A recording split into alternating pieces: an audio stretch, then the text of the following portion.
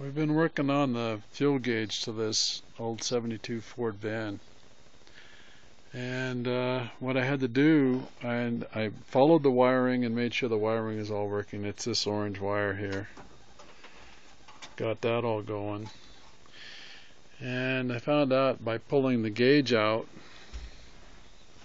that out of the gas tank, this is the gas tank on this old, it's not a van, it's a truck, sorry, F-350 uh, that the, the float had a big hole in it. And I'll show you that in a minute, but I'm going to show you that the gauge is actually working.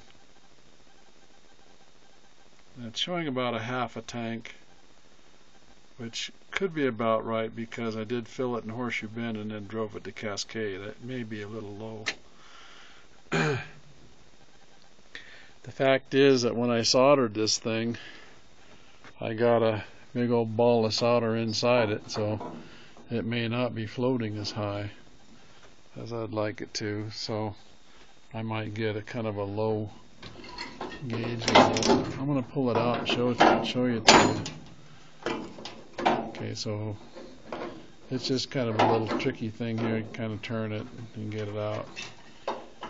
Uh, this float had a piece of rubber on it. I have no idea why I'm thinking it was only it was only all part there. So anyway, so yeah, this um, this float had a big old hole right here, and I had to cave it in some to get it to be close enough so I could solder it. And then soldering, what I had to do is just give it a touch with this torch, like that, because it's so thin a material that float is just paper thin.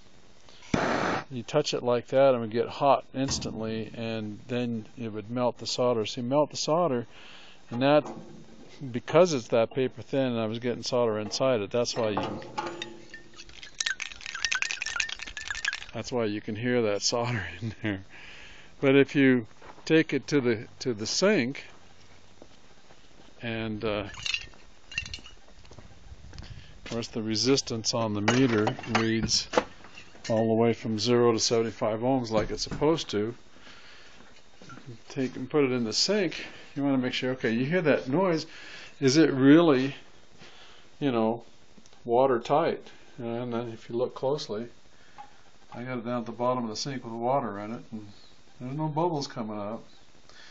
And it does float. If you look at it, it's it floats it's on the top basically. It's on the top of the water there so in theory it should be giving me good accurate. Now if it's uh, indicating off what I can do is I can bend this rod a little bit. I don't want to give it too much because I don't want people to think oh you know you've got half a tank when oops you have no that's the that's the worst thing. You'd rather have it indicating lower than it actually is. Okay, so we'll put it back in there.